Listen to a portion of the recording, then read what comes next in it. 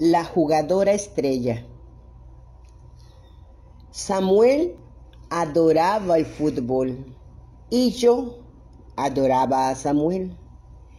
Era árbitro y me encantaba verlo limpio y valeroso con los calzones cortos y el silbato presto, señoreándose altivo en el terreno de juego, especialmente cuando condenaba a un penalti me emocionaba su tranquila seguridad frente a los manotazos exaltados de los jugadores, sus gestos agresivos y las cuchufletas del público espectador.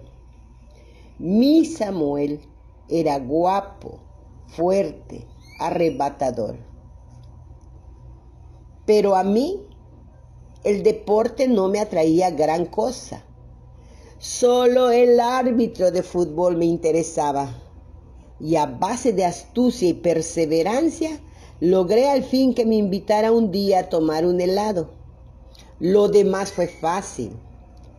Samuel comenzó a venir a casa todas las noches y durante dos horas maravillosas se dedicaba a recordar jugadas de los ídolos del fútbol, ilustrándolas con mucho entusiasmo y gran destreza con patadas, rápidos movimientos de cabeza, carreras cortas y aún espectaculares caídas.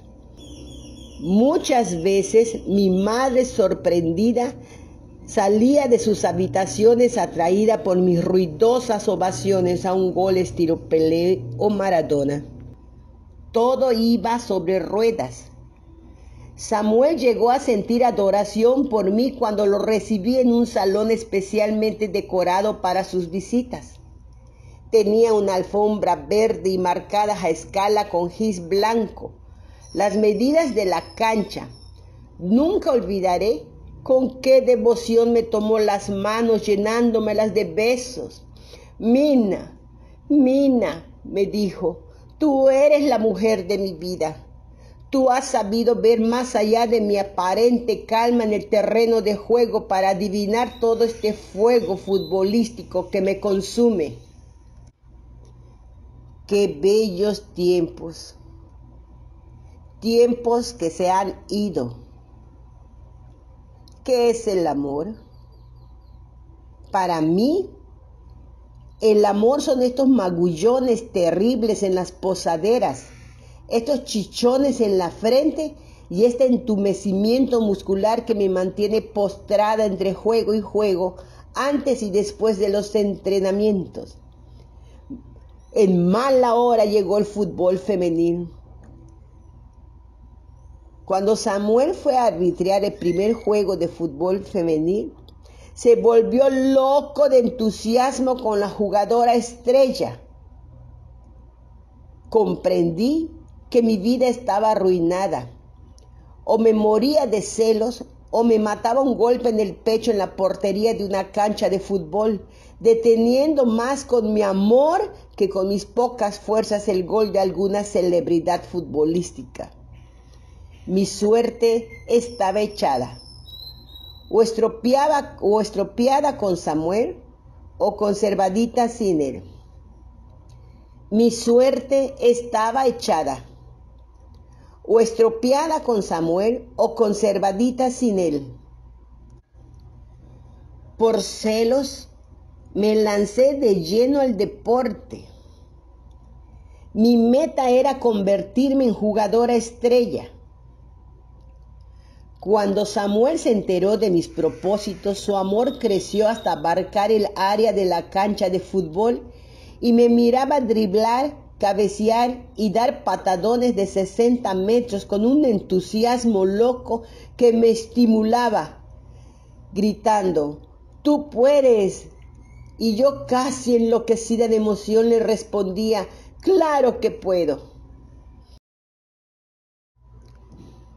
Pero no pude, o no puedo, o aún no he podido no solo no soy aún la jugadora estrella, sino que ahora he perdido a Samuel. Solo me queda el fútbol.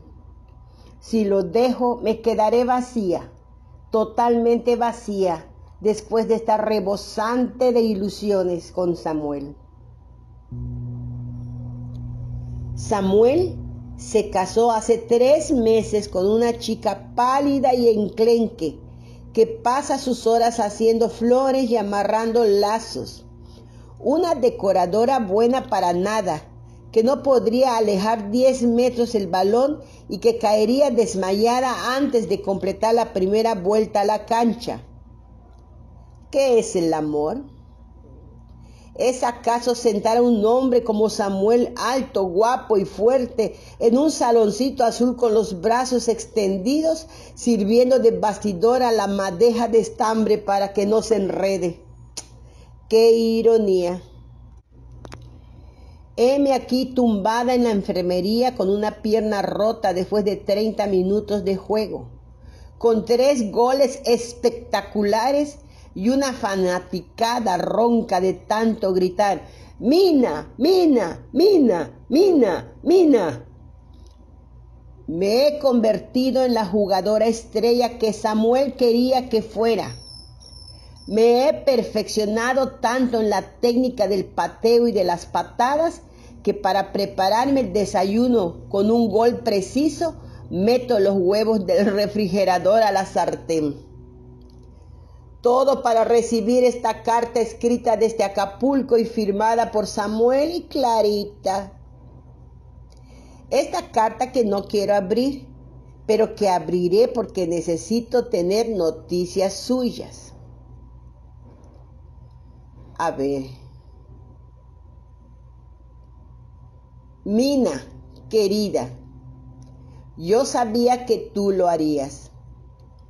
Te vi jugar por televisión y Clarita llegó a sentir celos de ti. Qué tontería, ¿verdad?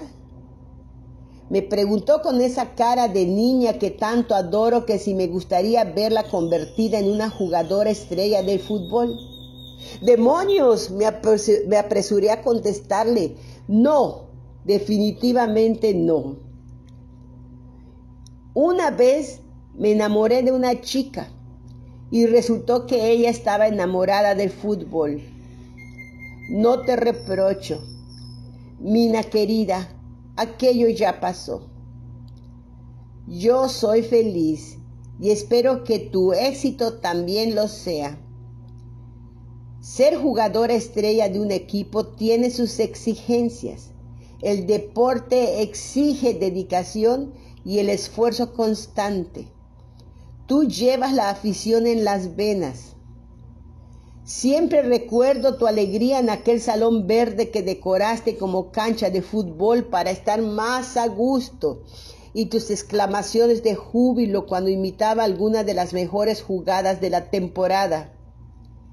Durante algún tiempo el brillo de tus ojos me hizo alentar la idea del amor, pero cuando se formaron los equipos femeniles y tú decidiste entrenar, me convencí de que el fútbol es la única y verdadera pasión de tu vida. Te admiro. Siempre vemos tus juegos. Recibe un abrazo de Samuel y Clarita. Ay, Samuel, maldito fútbol femenil. Malaya el fútbol femenil.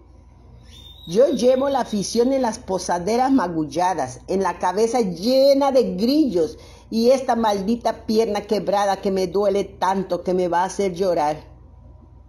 ¿Llorar? ¿Por qué no? Después de todo, las futbolistas somos mujeres y las mujeres lloramos siempre.